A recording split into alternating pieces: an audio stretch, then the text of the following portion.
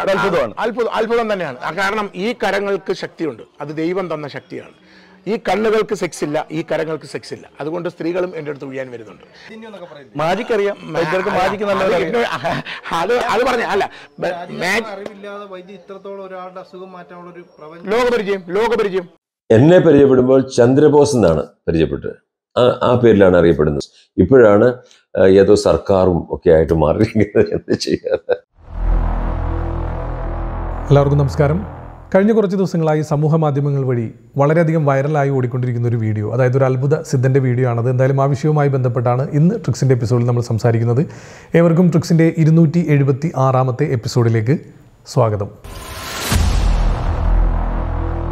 കഴിഞ്ഞ ദിവസം തിരുവനന്തപുരത്ത് നിന്നും കോഴിക്കോടേക്കുള്ള യാത്രാമതിയാണ് ഇദ്ദേഹത്തിന്റെ വീഡിയോ എന്റെ ശ്രദ്ധയിൽപ്പെടുന്നത്. അപ്പോൾ അദ്ദേഹത്തെ കണ്ടപ്പോൾ തന്നെ ഇദ്ദേഹത്തെ എനിക്ക് മുൻപ് പരിചയമുള്ള ആളാണ്. ഞാൻ പല അവസരങ്ങളിലും അദ്ദേഹത്തെ കണ്ടിട്ടുണ്ട്. അതെങ്ങനെയാണെന്ന് വെച്ച് കഴിഞ്ഞാൽ ആലുവ ശിവരാത്രി മഹോത്സവവുമായി ബന്ധപ്പെട്ട് ആലുവ നഗരസഭ നടത്തുന്ന മുനിസിപ്പാലിറ്റി നടത്തുന്ന ഒരു കാർണിവൽ ഉണ്ട് എല്ലാ വർഷവും ഉള്ളതാണത്. ആ കാർണിവലിൽ ഇദ്ദേഹം മരണക്കിണറിൽ അനൗൺസറായിട്ട് ഞാൻ അദ്ദേഹത്തെ കണ്ടിട്ടുണ്ട്. അതല്ലെങ്കിൽ അവിടെ ടിക്കറ്റ് വെച്ച് മാജിക് ഷോ നടത്തുന്ന ആളായിട്ട് ഇദ്ദേഹത്തെ കണ്ടിട്ടുണ്ട്. ഇപ്പോൾ കഴിഞ്ഞ വർഷങ്ങളിലെല്ലാം തന്നെ രണ്ടായിരത്തി ഇരുപത്തിരണ്ട് രണ്ടായിരത്തി ഇരുപത്തി മൂന്ന് കാലഘട്ടങ്ങളിൽ നയന്റി ഫിലിം പ്രദർശിപ്പിക്കുന്ന ഒരു വ്യക്തിയായിട്ടാണ് അദ്ദേഹത്തെ കണ്ടത്. അപ്പോൾ എല്ലാ വർഷവും എന്റെ ഇവന്റ് കമ്പനിയും ചെറിയ രീതിയിൽ മുനിസിപ്പാലിറ്റിയായിട്ട് സഹകരിച്ച് പല ഇവന്റുകളും ഒക്കെ അവിടെ നടത്താറുണ്ട്. സോ അപ്പോൾ അതുമായി ബന്ധപ്പെട്ട് കഴിഞ്ഞ വർഷം രണ്ടായിരത്തി ഇരുപത്തി മൂന്നിൽ നമ്മൾ വലിയൊരു മെഗാ ഷോ അവിടെ സംഘടിപ്പിച്ച സമയത്ത് ആ ഒരു പ്രോഗ്രാമിൽ ചെറിയൊരു മാജിക് ചെയ്യാൻ ഒരു അവസരം ചോദിച്ചും അദ്ദേഹം എന്റെ അടുത്ത് വന്നിരുന്നു. അപ്പോൾ അദ്ദേഹത്തെ അന്നൊക്കെ പരിചയപ്പെടുത്തിയത് സിബി എന്നാണ് അദ്ദേഹത്തിന്റെ പേരെന്നാണ് പറഞ്ഞത്. സി ബി സർക്കാർ എന്ന പേരിലാണ് അദ്ദേഹം എന്നോട് പറഞ്ഞതും അദ്ദേഹത്തെ അറിയാവുന്നതും ആ ഒരു പേരിൽ തന്നെയാണ്. സി ബി എന്ന് പറയുന്ന പേരിലാണ് അദ്ദേഹത്തെ അറിയാവുന്നത്. പക്ഷേ ഇതിൽ പറയുന്ന പേരുകളൊക്കെ മറ്റു പേരുകളൊക്കെയാണ്. എന്ത് തന്നെയായാലും അദ്ദേഹത്തെ ഇത്രയും വർഷം നമ്മൾ കണ്ടപ്പോഴൊന്നും തന്നെ ഇദ്ദേഹം ഇങ്ങനെ ഒരു ചികിത്സകനാണെന്നോ അത്ഭുത ചികിത്സ ചെയ്യുന്ന ആളാണെന്നോ വൈദ്യനാണെന്നോ ഒന്നും നമുക്കറിയില്ല. മാത്രമല്ല ആ ഒരു മാജിക്കിൽ എനിക്ക് പരിചയമുള്ള ഒരുപാട് ആളുകളെ ഞാൻ കോൺടാക്ട് ചെയ്തിരുന്നു. അപ്പോഴൊന്നും ആർക്കും അറിയില്ല. എല്ലാവർക്കും ഇതൊരു പുതിയ അറിവാണ്. അപ്പോൾ മുൻപ് കുറച്ച് നാളുകൾക്ക് മുമ്പ് ഏകദേശം രണ്ടാഴ്ച ഒരു മാസം മുമ്പ് വരെ അദ്ദേഹത്തിന്റെ വീഡിയോകളിൽ അദ്ദേഹം തെരുവുകളിൽ പോയി നിന്ന് ചികിത്സ നടത്തുന്ന രീതിയിൽ പല വീഡിയോകളും നമ്മുടെ ശ്രദ്ധയിൽപ്പെട്ടു. ഞാൻ വീണ്ടും സെർച്ച് ചെയ്ത് കഴിഞ്ഞപ്പോൾ. പക്ഷേ ഇന്ന് നിലവിൽ ആ ഒരു ബിസിനസ് നല്ല രീതിയിൽ തഴച്ചു വളർന്നത് കൊണ്ടായിരിക്കാം ഇന്നിപ്പോൾ അദ്ദേഹം വലിയൊരു പ്രസ്ഥാനമായി മാറിയിരിക്കുന്നു.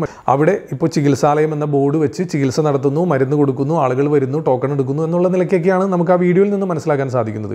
ഇപ്പോൾ ഈ ഒരു ഭയങ്കര വൈദ്യശാലയുടെ സെറ്റപ്പ് ആയിട്ടുണ്ട് ഇവിടെ. ഇഷ്ടംപോലെ ലക്ഷക്കണക്കാണ് മരുന്നുകളിവിടെ വൈദ്യര് ഉണ്ടാക്കി വെച്ചിട്ടുണ്ട്. പക്ഷെ ഇതിനൊക്കെ ഈ സോഷ്യൽ മീഡിയയിലുള്ള പരസ്യമാണ് ആൾക്കാരൊക്കെ കാണാൻ അതെ നൂറ് ശതമാനം നൂറ് ശതമാനം. ഞാൻ എന്തായാലും അദ്ദേഹത്തിന് ആ ഒരു നമ്പറിൽ ഞാൻ അദ്ദേഹത്തെ കോൺടാക്ട് ചെയ്തു. പക്ഷേ ഒരുപാട് തവണ ട്രൈ ചെയ്തിട്ടും അദ്ദേഹം കോൾ അറ്റൻഡ് ചെയ്യുന്നില്ല. അപ്പോൾ എന്തായാലും ഞാൻ തിരുവനന്തപുരത്ത് നിന്ന് കോഴിക്കോട് പോകുന്ന യാത്രയിലാണ്. അപ്പോൾ ആ യാത്രാ മധ്യ എവിടെയെങ്കിലും വെച്ച് മീറ്റ് ചെയ്യാം അല്ലെങ്കിൽ പോകുന്ന വഴിക്കാണെങ്കിൽ കാണാലോ എന്ന് കരുതിയാണ് വിളിച്ചത്. പക്ഷേ ഫോൺ അറ്റൻഡ് ചെയ്തില്ല.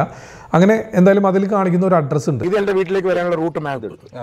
ഇത് എന്റെ ഫുൾ അഡ്രസ്സ് പോസ്റ്റ് ഓഫീസിൽ രണ്ട് വിളിച്ചാൽ കിട്ടുന്ന നമ്പർ അത് ചേർത്തലയ്ക്ക് അടുത്ത് ആലപ്പുഴ ജില്ലയിൽ ചേർത്തലയ്ക്ക് അടുത്തുള്ള ഒരു അഡ്രസ്സാണ് അതിൽ കാണിക്കുന്നത്. മിക്കവാറും വീഡിയോകളിലൊക്കെ അദ്ദേഹം പറയുന്ന അഡ്രസ്സ് അത് തന്നെയാണ്. അതിലൊരു റൂട്ട് മാപ്പ് വരെ അതിനകത്ത് കൊടുത്തിട്ടുണ്ട്. അപ്പോൾ എന്തായാലും ഒന്ന് നേരിട്ട് പോകാം എന്നുള്ള നിലയ്ക്ക് ഞാൻ നേരിട്ട് ഈ പറഞ്ഞ അഡ്രസ്സിലേക്ക് ഞാൻ യാത്ര ചെയ്ത് ഒരുപാട് കഷ്ടപ്പെട്ട് ബുദ്ധിമുട്ടിയാണ് നമ്മൾ ആ ഒരു സ്പോട്ടിലെത്തിയത് പക്ഷേ ആ പോകുന്ന വഴിയിലൊക്കെ അദ്ദേഹത്തെ പറ്റി ചോദിക്കുമ്പോഴൊക്കെ ആളുകൾക്ക് നമ്മളോട് ദേഷ്യമാണ് അദ്ദേഹത്തെ അന്വേഷിക്കുമ്പോൾ. അപ്പോൾ ആരും തന്നെ അദ്ദേഹത്തെ പറ്റി എന്താ പറയുക നല്ല രീതിയിൽ സംസാരിച്ചില്ല. കാരണം അവരുടെ നാട്ടിൽ ഇപ്പോൾ ആ വീഡിയോ പ്രചരിച്ചുകൊണ്ടിരിക്കുകയാണ്. അപ്പോൾ അവർക്കും അതൊരു പുതിയ അറിവാണ്. അദ്ദേഹം ഇങ്ങനെ ഒരു ചികിത്സകനാണ് എന്നുള്ളത്. അദ്ദേഹത്തെ മെജീഷ്യൻ എന്നുള്ള നിലയിൽ പല ആളുകൾക്കും അറിയാം. പക്ഷേ അദ്ദേഹത്തിന്റെ പുതിയ പേരും അല്ലെങ്കിൽ ഇത്തരത്തിലുള്ള ചികിത്സയും ഒന്നും ആർക്കും അറിയില്ല. അപ്പോൾ വീഡിയോകളെല്ലാം നാട്ടുകാരും കണ്ടിട്ടുണ്ട്. അപ്പോൾ അന്വേഷിച്ച് ചെന്നപ്പോൾ നമ്മളോടൊരു ദേഷ്യം. ഞാൻ പറഞ്ഞു അതിനല്ല അതിന്റെ യാഥാർത്ഥ്യം അദ്ദേഹത്തെ ഒന്ന് ബോധ്യപ്പെടുത്താനാണ്. അദ്ദേഹം ചെയ്യുന്നത് തെറ്റാണെന്ന് അദ്ദേഹത്തെ ഒന്ന് മനസ്സിലാക്കി കൊടുക്കാനാണെന്ന് പറഞ്ഞു. അങ്ങനെ അദ്ദേഹത്തിന്റെ വീട് കുറേ ആളുകൾ പറഞ്ഞതിന്റെ അടിസ്ഥാനത്തിൽ നമ്മളങ്ങനെ വീട്ടിലെത്തി. അപ്പോൾ ഈ വീഡിയോകളിലെല്ലാം അദ്ദേഹം പറയുന്ന അഡ്രസ്സിലുള്ള വീട് എന്ന് പറയുന്നത് ഇതാണ്. നിലവിൽ അദ്ദേഹം അവിടെ ഇല്ല. അവിടെ ചികിത്സയും നടത്തുന്നില്ല. അത് മറ്റേതോ സ്ഥലത്താണ്. പക്ഷേ ആ സ്ഥലത്തിരുന്നു കൊണ്ട് അദ്ദേഹം കൊടുക്കുന്ന അഡ്രസ്സ് ഇതാണ്. അത് എന്തുകൊണ്ടാണെന്ന് എനിക്കറിയില്ല. ആളുകൾ കോൺടാക്ട് ചെയ്യുമ്പോൾ എനിക്ക് തോന്നുന്നു അദ്ദേഹത്തിന് പറ്റിയ ആളുകളെ മാത്രം അദ്ദേഹം അറ്റൻഡ് ചെയ്യുന്നു.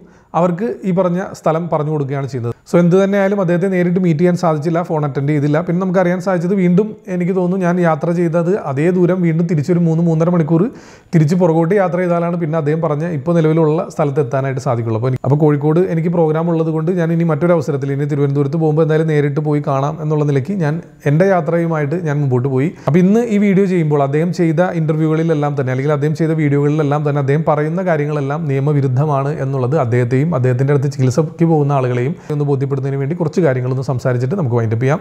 അതിൽ ആദ്യത്തെ കാര്യം എന്താണെന്ന് വെച്ച് കഴിഞ്ഞാൽ ആയിരത്തി തൊള്ളായിരത്തി അൻപത്തിനാലിലെ the drugs and magical remedies act പ്രകാരം അത് നിരവധി ഭേദഗതികളൊക്കെ വരുത്തിയിട്ടുള്ളൊരു നിയമമാണത്. അതിലെ നിലവിലെ നിയമപ്രകാരം ഇതേ രീതിയിൽ അദ്ദേഹം ചെയ്യുന്ന പ്രവർത്തനങ്ങളിൽ വളരെ ഇമ്പോർട്ടന്റ് ആയിട്ട് നിയമവിരുദ്ധമായി പറയേണ്ട ഒരു കാര്യം എന്താണെന്ന് വെച്ച് കഴിഞ്ഞാൽ ആളുകളെ ചികിത്സിക്കുന്നതിനും മരുന്ന് കൊടുക്കുന്നതിനും പ്രത്യേകം അർഹതകൾ യോഗ്യതകൾ വേണം.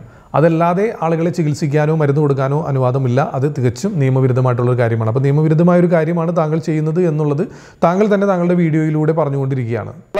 പരീക്ഷണ നിരീക്ഷണങ്ങൾ കൂടിയാണ് ഈ മരുന്ന് നൂറ്. ശതമാനം. പിന്നെ അത് ഇത് കൊടുത്തു കഴിഞ്ഞാൽ എന്തെങ്കിലും സൈഡ് എഫക്റ്റ് ഉണ്ടോ എന്നൊക്കെ ഉള്ള പരിശോധനയ്ക്ക് ശേഷമാണ് ഈ മരുന്ന് മെഡിസിനൊക്കെ വരുന്നത്. ഇപ്പോൾ ഈ വൈദ്യർ ഇതൊന്നും ഇല്ല. കേട്ടറിവ് കൂടി മരുന്നുണ്ടാക്കി ആൾക്കാരെ ചികിത്സിക്കുക അല്ലെങ്കിൽ അവർക്ക് ഭേദമാക്കുക എന്ന് പറയുന്നത് എങ്ങനെയാണ് അത്? അത്ഭുതമാണ്. അത്ഭുതം അത്ഭുതം തന്നെയാണ്. ആ കാരണം ഈ കരങ്ങൾക്ക് ശക്തിയുണ്ട്. അത് ദൈവം തന്ന ശക്തിയാണ്. ഈ കണ്ണുകൾക്ക് സെക്സ് ഇല്ല ഈ കരങ്ങൾക്ക് സെക്സ് ഇല്ല. അതുകൊണ്ട് സ്ത്രീകളും എന്റെ അടുത്ത് ഒഴിയാൻ വരുന്നുണ്ട്. ഒരു മെഡിക്കൽ ഷോപ്പ് നടത്തണമെങ്കിൽ പോലും ഒരു ഫാർമസിസ്റ്റിന്റെ ലൈസൻസ് ഉള്ള ഒരാൾക്കേ അത് സാധിക്കുകയുള്ളൂ. മരുന്ന് കൊടുക്കണമെങ്കിൽ ആ മരുന്നുമായി ബന്ധപ്പെട്ട് പഠനം നടത്തുകയും യോഗ്യതയും നേടിയ അല്ലെങ്കിൽ സർട്ടിഫിക്കറ്റോട് കൂടിയ ഒരാൾക്കേ അത് ചെയ്യാനായിട്ട് സാധിക്കുകയുള്ളൂ. ഇതൊന്നും തന്നെ എനിക്കില്ല എന്നും ഞാനിതുമായി ബന്ധപ്പെട്ട പഠനം നടത്തിയിട്ടില്ല എന്നും എനിക്ക് കേട്ടറിവ് മാത്രമാണ് ഉള്ളത് അതുകൊണ്ട് ഞാൻ മരുന്ന് കൊടുക്കുന്നു അത് കൈപുണ്യം ഉള്ളത് കൊണ്ട് അത് ഫലിക്കുന്നു എന്ന് അദ്ദേഹം വീഡിയോയിലൂടെ പറയുന്നു. ഈ അഞ്ചാം ക്ലാസ് വിദ്യാഭ്യാസം ഉള്ള ഇംഗ്ലീഷ് ഒക്കെ എങ്ങനെ ഏഴാം ക്ലാസ് ഏഴാം സെവൻ ക്ലാസ് ക്ലാസ് ഉള്ളി. വിദ്യാഭ്യാസം ഇല്ലാത്തവർക്ക് എന്ത് എന്തും ചെയ്തുകൂടാണോ ഇതുമായിട്ട് ബന്ധപ്പെട്ട് വലിയ സർട്ടിഫിക്കറ്റ് ഉള്ള വലിയ വലിയ മെഡിക്കൽ കോളേജ് പഠിച്ചുള്ള നോളജ് ഒന്നുമില്ല. കേട്ടറിവ് കൂടി ഇനി മൂന്നാമതായിട്ട് പറയാനുള്ളത് നമ്മുടെ നാട്ടിൽ ചികിത്സകൾ പലതരത്തിലുണ്ട്. ഇദ്ദേഹത്തെ മാത്രമല്ല അത്തരത്തിൽ ഉള്ള നിയമവിരുദ്ധമായി പ്രവർത്തിക്കുന്ന ഇത്തരത്തിലുള്ള ചികിത്സകരെയോ ചികിത്സാ സ്ഥാപനങ്ങളെയോ ഒന്നും നമുക്ക് സപ്പോർട്ട് ചെയ്യാൻ സാധിക്കുന്നതല്ല. എവിടുന്നാ വിളിക്കുന്നത് കൊല്ലം. നാളെ രാവിലെ പതിനൊന്ന് മണിക്ക് തിങ്കളാഴ്ചത്തേക്ക് ബുക്ക് ചെയ്തേക്കാം. ആ ശരി. ബുക്കിംഗ് ആണ് വൈദ്യുതി ഫോൺ ബുക്കിംഗ് ആണ്. അതാണ്. ഇങ്ങോട്ട് ഓരോ ഓരോ ദിവസവും വരുന്നതാണ്. അയ്യോ. അത് ഒരെണ്ണം തീർന്ന്. അടുത്ത എടുത്താ നാളത്തേക്കുള്ള ബുക്കിംഗ് ഇനി അടുത്തായിട്ട് പറയുകയാണെങ്കിൽ drugs and magical remedies act പ്രകാരം ചില അസുഖങ്ങൾ അതായത് മാറ്റി കൊടുക്കാം എന്ന് പരസ്യം പറയാനൊന്നും പരസ്യവാചകം പറയാനൊന്നും പാടില്ല എന്നുള്ളത് കൃത്യമായിട്ട് ആ ഒരു ആക്ടിൽ പറയുന്നുണ്ട് ആ നിയമത്തിൽ പറയുന്നുണ്ട്. അപ്പോൾ ആ നിയമം മൂലം കർശനമായി നിരോധിച്ചിരിക്കുന്ന അത്തരത്തിലുള്ള വാചകങ്ങളെല്ലാം തന്നെ ഇദ്ദേഹം ഇദ്ദേഹത്തിന്റെ ചാനൽ ഇദ്ദേഹത്തിന്റെ ഇന്റർവ്യൂവിൽ ഇദ്ദേഹം വീഡിയോയിലൂടെ പരസ്യവാചകമായി പറയുകയാണ്. ഇത്തരത്തിലുള്ള അസുഖങ്ങളെല്ലാം മാറ്റിത്തരാം എന്ന് അദ്ദേഹം പറയുകയാണ്. അതൊക്കെ നിയമവിരുദ്ധമായിട്ടുള്ള കാര്യമാണ്. അതുമാത്രമല്ല അവിടെ ചികിത്സാലയം എന്ന് എഴുതി വെച്ചിരിക്കുകയാണ്. അദ്ദേഹത്തിന്റെ ഫോട്ടോ കൊടുത്തിട്ട് ചികിത്സാലയം എന്ന് തന്നെ അദ്ദേഹം എഴുതി വെച്ചിരിക്കുകയാണ്. ചികിത്സാലയം എന്ന ബോർഡ് വെക്കണമെങ്കിൽ ഇത്തരത്തിലുള്ള കാര്യങ്ങളൊക്കെ കൂടിയേ തീരൂ. അതായത് അവിടെ ഒരു ചികിത്സകൻ ഉണ്ടാവണം മരുന്നുണ്ടാകണം ചികിത്സകന് ഇതുമായി ബന്ധപ്പെട്ട ലൈസൻസ് വേണം. ഇതൊന്നുമില്ലാതെ ചികിത്സാലയം എന്ന ബോർഡ് വെക്കാനുള്ള അനുവാദമൊന്നുമില്ല. അപ്പോൾ അദ്ദേഹം ചെയ്തിരിക്കുന്നത് വളരെ വലിയ തെറ്റാണ്. അവിടുത്തെ മെമ്പർ പറഞ്ഞിട്ടാണ് ബോർഡ് വെച്ചത് എന്നൊക്കെ പറയുന്നു. അപ്പോൾ അവിടെയുള്ള ഈ പറഞ്ഞ പൊതുപ്രവർത്തകർക്കൊന്നും ഇതേപ്പറ്റി വലിയ ധാരണകളോ കാര്യങ്ങളൊന്നും ഇല്ലെങ്കിൽ വീഡിയോ കാണുന്ന ആളുകൾ അവരെയൊക്കെ കാര്യങ്ങൾ പറഞ്ഞ് മനസ്സിലാക്കാൻ ശ്രമിക്കുക. തികച്ചും അശാസ്ത്രീയമായ രീതിയിലാണ് താങ്കൾ ഇത്തരത്തിലുള്ള കാര്യങ്ങളെല്ലാം കൈകാര്യം ചെയ്യുന്നത് എന്നുള്ളത് താങ്കളുടെ ഇന്റർവ്യൂകളിൽ നിന്നും വീഡിയോകളിൽ നിന്നും തന്നെ നമുക്ക് മനസ്സിലാവുന്ന ഒരു കാര്യമാണ്. താങ്കളുടെ ചികിത്സ മൂലം ആർക്കെങ്കിലും ഏതെങ്കിലും തരത്തിലുള്ള അപകടമോ ആപത്തോ സംഭവിച്ചു കഴിഞ്ഞാൽ അത് ആര് അതിന് സമാധാനം പറയും എന്നുള്ളൊരു ചോദ്യമാണ് സോഷ്യൽ മീഡിയ ചോദിച്ചുകൊണ്ടിരിക്കുന്നത്. പിന്നെ ഇതിൽ ഏറ്റവും ഇമ്പോർട്ടന്റ് ആയിട്ടുള്ള ഒരു കാര്യം എന്താണെന്ന് വെച്ച് കഴിഞ്ഞാൽ സൗജന്യ ചികിത്സാലയം എന്ന് ബോർഡ് വെക്കുന്നു എന്നിട്ട് അദ്ദേഹം തന്നെ പറയുന്നു അതായത് പതിനായിരം രൂപയോളം എനിക്ക് വരുമാനം ദിവസേന ഉണ്ട് എന്ന് പറയുന്നു. ഇന്നത്തെ എന്റെ കളക്ഷൻ ആ പത്തൊമ്പതിനായിരം രൂപ ഉണ്ടല്ലോ. ആ, അതുണ്ട്. ആര് തന്ന? അത് മരുന്ന് പൈസ മേടിക്കത്തില്ല. പൈസ മേടിക്കത്തില്ലെന്ന് പറഞ്ഞു. അത് മരുന്ന് അവർ തരുന്നത്. ഞാൻ ഇപ്പൊ മരുന്ന് കൊടുക്കും. അപ്പൊ മരുന്ന് വിൽപ്പന നടത്തണമെങ്കിൽ ഞാൻ നേരത്തെ ആവർത്തിച്ച് ആവർത്തിച്ച് പറഞ്ഞ രീതിയിൽ അതുമായി ബന്ധപ്പെട്ട് പഠനം നടത്തിയ ആളായിരിക്കണം അതിൽ പ്രാവീണ്യം നേടിയ ആളായിരിക്കണം ബിരുദമുള്ള ആളായിരിക്കണം സർട്ടിഫിക്കറ്റ് ഉള്ള ആളായിരിക്കണം. ഇതൊന്നുമില്ലാതെ താങ്കൾ എങ്ങനെയാണ് മരുന്ന് കൊടുക്കുന്നത്? അദ്ദേഹം പറയുന്നത് മുത്തശ്ശി പറഞ്ഞ് കേട്ട അറിവ് കൊണ്ടാണ് മരുന്ന് കൊടുക്കുന്നത്.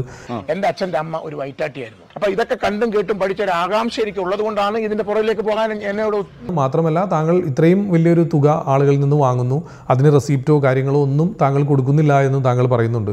മാത്രമല്ല ഇനി അത് ഡൊണേഷനായിട്ട് സംഭാവനയായിട്ട് ആളുകൾ നൽകുന്നതാണെന്നും പറയുന്നു. അങ്ങനെയാണെങ്കിൽ സംഭാവനയാണെങ്കിൽ പോലും തീർച്ചയായിട്ടും അതിനൊരു റെസിപ്റ്റ് ആവശ്യമാണ്. ദിവസേന പതിനായിരം രൂപ വരുമാനം ലഭിക്കുന്നു ആളുകളിൽ നിന്ന് സംഭാവന സ്വീകരിക്കുന്നു എന്ന് പറയുന്നു. അങ്ങനെയാണെങ്കിൽ അതിന് താങ്കൾ ടാക്സ് കൊടുക്കുന്ന ആളാണോ? അപ്പോൾ ഇതെല്ലാം തന്നെ അതായത് നിയമവിരുദ്ധമായിട്ടുള്ള കാര്യങ്ങളാണ് പബ്ലിക് പ്ലാറ്റ്ഫോമിൽ വന്ന് താങ്കൾ ഇങ്ങനെ വലിയ സംഭവമായിട്ട് പറഞ്ഞുകൊണ്ടിരിക്കുന്നത്. ഇനി ഇത് മാത്രമല്ല പല വീഡിയോകളിലും ഇദ്ദേഹം മാജിക് പ്രകടനം കാഴ്ചവെക്കുന്നുണ്ട്. ഒരു അത്ഭുതം എന്നുള്ള നിലയ്ക്ക് മാജിക് എന്ന് വെച്ച് കഴിഞ്ഞാൽ നിങ്ങൾക്ക് എല്ലാവർക്കും അറിയാവുന്ന ഒരു കാര്യമാണ്. മാജിക് എന്ന് പറഞ്ഞാൽ ഒരു കബളിപ്പിക്കലാണ്.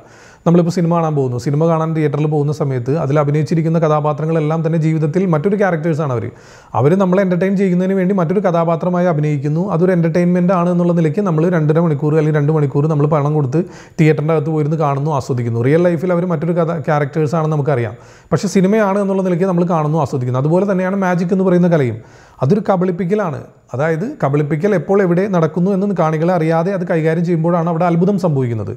സോ അതൊരു എന്റർടൈൻമെന്റ് മാത്രമാണ്. അത് സ്റ്റേജിൽ ഒതുങ്ങുന്നതാണ്. മാജിക്ക് പഠിച്ചുകൊണ്ട് നമുക്ക് ചികിത്സ നടത്താനോ ആളുകളുടെ പ്രശ്നം പരിഹരിക്കാനോ ഒന്നും സാധിക്കില്ല. ഈ ഒരു ആർട്ടിനെ മുതലാക്കുന്ന രീതിയിലുള്ള പല വാചകങ്ങളും അദ്ദേഹത്തിന്റെ ഇന്റർവ്യൂവിൽ അദ്ദേഹത്തിന്റെ വായിൽ നിന്ന് വീഴുന്നതായിട്ട് ശ്രദ്ധയിൽപ്പെട്ടു. അദ്ദേഹം മെജീഷ്യൻ സാമ്രാജിന്റെ ശിഷ്യനാണ് എന്നുള്ളതാണ്. സാമ്രാജ് സാറാണ് അദ്ദേഹത്തിന് മാജിക്ക് പഠിപ്പിച്ചു കൊടുത്തതെന്നാണ് പല മെജീഷ്യൻസും ഇതുമായി ബന്ധപ്പെട്ട് ഞാൻ കോൺടാക്ട് ചെയ്തപ്പോൾ പറഞ്ഞത്. അപ്പോൾ സാമ്രാജ് സാർ നമ്മുടെ വളരെ അടുത്ത സുഹൃത്താണ്. അപ്പോൾ തീർച്ചയായിട്ടും ഞാൻ അദ്ദേഹത്തെ കണ്ടിരുന്നു. അദ്ദേഹത്തെ കോൺടാക്ട് ചെയ്തിരുന്നു. അപ്പോൾ അദ്ദേഹത്തിന് പറയാനുള്ള എന്താണെന്ന് കൂടെ നമുക്കൊന്ന് കേൾക്കാം. ഇദ്ദേഹം എന്റെ അടുത്ത് വരുമ്പോൾ അദ്ദേഹം തന്നെ പരിചയപ്പെടുത്തി ഈ സ്കൂളുകളിലൊക്കെ പേന പെൻസിൽ ഇങ്ങനെയുള്ള സ്റ്റേഷനറി ഐറ്റംസ് ഒക്കെ വിൽക്കുന്ന ഒരാളായിരുന്നു.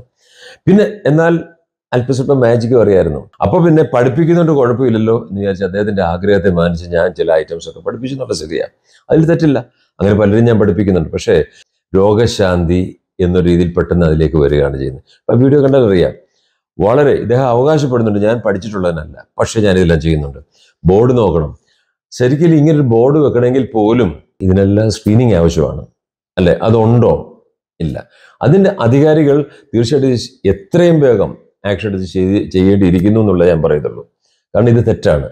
അബ്സുലറ്റ് റോങ് മനസ്സിലായി? ഇങ്ങനെ ആകുമ്പോൾ ഒത്തിരി ഒത്തിരി ഒത്തിരിയും ആൾക്കാർ ഇങ്ങനെ ഇങ്ങനെ വരുന്നുണ്ട്. അതാണല്ലോ ഇവിടെ മനസ്സ് കുരു- എന്താ കുരുതികൾ നടക്കുന്നു. അവിടെ എന്തെല്ലാം പ്രശ്നങ്ങൾ ഓരോ ദിവസം നടക്കുന്നുണ്ട്. ഇതെല്ലാം ഇനിയും അത് മൂത്ത് മൂത്ത് മൂത്ത് ഇങ്ങനെ ആകാൻ സാധ്യതയുണ്ട്. പക്ഷെ അതിനെ ഇപ്പോൾ തന്നെ അതിനെ അതിനെ ഒരു കൺട്രോൾ വെക്കുന്നത് നല്ലതായിരിക്കും എന്നാണ് എനിക്ക് പറയാനുള്ളത്. എന്നെ പരിചയപ്പെടുമ്പോൾ ചന്ദ്രബോസ് എന്നാണ് പരിചയപ്പെട്ടത്. ആ ആ പേരിലാണ് അറിയപ്പെടുന്നത്. ഇപ്പോഴാണ് ഏതോ സർക്കാരും ഒക്കെ ആയിട്ട് മാറി എന്ത് ചെയ്യാതെ. ഇങ്ങനെ പല പേരിലാണ് ഇദ്ദേഹം അറിയപ്പെടുന്നത്. മജീഷ്യൻ സി ബി സർക്കാർ സകലേഷ് കുമാർ എനിക്കറിയാം? ഹോമിയോ ഡോക്ടർ ഹോമിയോ ഡോക്ടർ അല്ല വിസ തട്ടിപ്പ് വിസ തട്ടിപ്പ് തട്ടിപ്പ് ആ ആശ്രമം പൊളിച്ചോണ്ട് പോയ ആൾ. ഏതെങ്കിലും ഒന്ന് ഉറപ്പിച്ച് പറ. ഇതിലേതെങ്കിലും ഒന്നാ? ബിരുദവും ബിരുദാനന്തര ബിരുദവും നേടി സ്പെഷ്യലൈസ് ചെയ്ത ആളുകൾ ചികിത്സിച്ചാൽ പോലും അബദ്ധവശാൽ അപകടം സംഭവിക്കുന്ന ഒരു കാലമാണിത്. ഈ മേഖലയിൽ വൈദഗ്ധ്യമുള്ള ആളുകൾ ചികിത്സിച്ചാൽ പോലും അപകട സാധ്യത നിലനിൽക്കെ. ഈ മേഖലയിൽ യാതൊരു പ്രവൃത്തി പരിചയവും ഇല്ലാത്ത അല്ലെങ്കിൽ ഈ മേഖലയിൽ പഠനം നടത്താത്ത ഒരു വ്യക്തി കേട്ടറിവ് കൊണ്ട് ചികിത്സ നടത്തുന്നു അതല്ലെങ്കിൽ ആളുകളിൽ നിന്ന് പണം വാങ്ങുന്നു മരുന്ന് കൊടുക്കുന്നു എന്നെല്ലാം തന്നെ പബ്ലിക് പ്ലാറ്റ്ഫോമിൽ നിന്ന് വന്ന് പറയുകയും അദ്ദേഹത്തിന്റെ അടുത്തേക്ക് ഒരുപാട് ആളുകൾ ചികിത്സയ്ക്ക് പോവുകയും അവരിൽ നിന്ന് ഡൊണേഷനായി പണം കൈപ്പറ്റുകയൊക്കെ ചെയ്യുന്നു. നിയമങ്ങളെ എല്ലാം തന്നെ കാറ്റിൽ പറത്തിക്കൊണ്ട് ഇദ്ദേഹം ചെയ്യുന്ന ഇത്തരം പ്രവർത്തനങ്ങൾ തീർച്ചയായിട്ടും നമുക്ക് അംഗീകരിക്കാൻ സാധിക്കുന്നല്ല ബന്ധപ്പെട്ട അധികാരികൾ തീർച്ചയായിട്ടും ഇതിനെതിരെ ഒരു നടപടി എടുക്കണം എന്നുള്ളത് തന്നെയാണ് നമുക്ക് പറയാനുള്ളത്. അപ്പോൾ അത്തരത്തിലുള്ള അധികാരികളുടെ ശ്രദ്ധയിലേക്ക് ഈ വീഡിയോ എത്തിക്കാനായിട്ട് നിങ്ങളുടെ ഭാഗത്തു നിന്നുള്ള എല്ലാവിധ സപ്പോർട്ടും പ്രതീക്ഷിക്കുകയാണ്. ട്രിക്സിന്റെ എപ്പിസോഡുകൾ നിങ്ങൾക്ക് ഇഷ്ടപ്പെടുന്നുവെങ്കിൽ നമ്മൾ പറയുന്ന കാര്യങ്ങളൊക്കെ മനസ്സിലാക്കാൻ സാധിക്കുന്നുവെങ്കിൽ തുടർന്നും കാണാൻ ആഗ്രഹമുണ്ടെങ്കിൽ മാത്രം നിങ്ങൾക്ക് ഇവിടെ സബ്സ്ക്രൈബ് ചെയ്യാം. ബെൽ ബട്ടൺ കൂടി എനേബിൾ ചെയ്ത് കഴിഞ്ഞാൽ ഞാൻ അപ്ലോഡ് ചെയ്യുന്ന ഇത്തരത്തിലുള്ള വീഡിയോകളുടെ നോട്ടിഫിക്കേഷൻ നിങ്ങളിലേക്ക് എത്തുന്നതായിരിക്കും. ഫേസ്ബുക്ക് പേജ് വഴി നമ്മുടെ വീഡിയോ കാണുന്നവരോടും ഇതേ കാര്യങ്ങൾ തന്നെയാണ് പറയാനുള്ളത്. നമ്മുടെ പ്രോഗ്രാം നിങ്ങൾക്ക് ഇഷ്ടപ്പെടുന്നുവെങ്കിൽ തുടർന്നും കാണാൻ ആഗ്രഹമുണ്ടെങ്കിൽ മാത്രം ഫേസ്ബുക്ക് പേജിലേക്ക് ചെയ്യാം. ഫോളോ ചെയ്യാവുന്നതാണ്. സോഷ്യൽ മീഡിയ വഴി പ്രചരിക്കുന്ന ഇത്തരത്തിലുള്ള വ്യാജ വീഡിയോകൾക്ക് പിന്നിലെ യാഥാർത്ഥ്യങ്ങളുമായി ഉടനെ തന്നെ ഞാൻ വീണ്ടും വരുന്നതായിരിക്കും. അതുവരേക്കും ഗുഡ് ബൈ